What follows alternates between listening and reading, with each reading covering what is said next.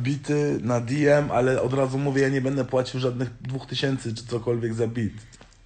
150 euro za bit będę płacił, bo na razie nie zarabiam na tym. Gdzieś sobie sam bity robiłem, kurwa, wiecznie sam robiłem. Jest wszystko za darmo. My umiemy Mixmaster, my umiemy sami okładki robić, wszystko. Pamiętacie te stare okładki pistoletem na tym? My sami okładki robiliśmy, Mixmaster, bity robiliśmy, sami się nagrywaliśmy, sami klipy kręcimy. Posłuchaj ty mnie, nie. Jaki ja mam zakaz prowadzenia pojazdów? O co tutaj chodzi? Ja po prostu nigdy w życiu nie zrobiłem prawka, kurwa, bo jestem leniem. Jaki ja mam zakaz czego? Nie mam żadnego, nigdy nie robiłem. Wziąłem trzy razy, kurwa, od, raz wziąłem od starego, raz wziąłem od faceta, od jedynego faceta, z którym moja mama się w życiu spotykała, znaczy związek miała poza moim ojcem, po ojcu już.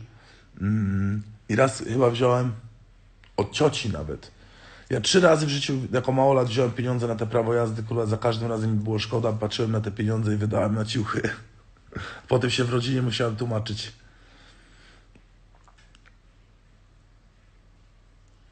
Dzisiaj mój outfit jest mega tani i leżę w Nike'u i w t-shircie Bossa.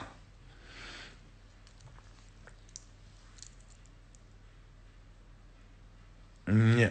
Polska miłość zawsze była na tym bicie. Mick Milla, Lil, ten Rest in Peace Snoop.